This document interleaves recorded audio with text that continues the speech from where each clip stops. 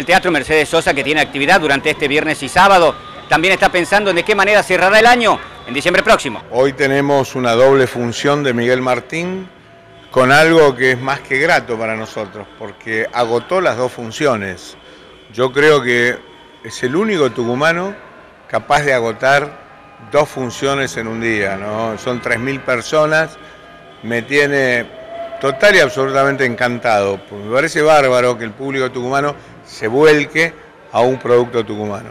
Mañana tenemos The Beats, eh, y nos está quedando Gala Estelar con, la eh, Figaredo y Cecilia Figueredo y el 15 de diciembre cerramos con un Navidad TMS que estamos empezando a armar, que vayan a ser villancicos, etcétera. Este, creo que va a ser una linda propuesta, pero deja que la armemos para no dejar a nadie afuera, ¿no? Los abelinos van a ser la banda base y sobre ellos vamos a trabajar. Está comprometido, se suma la Junta, se suman los chicos de Tina y vamos a ver a quién más sumamos.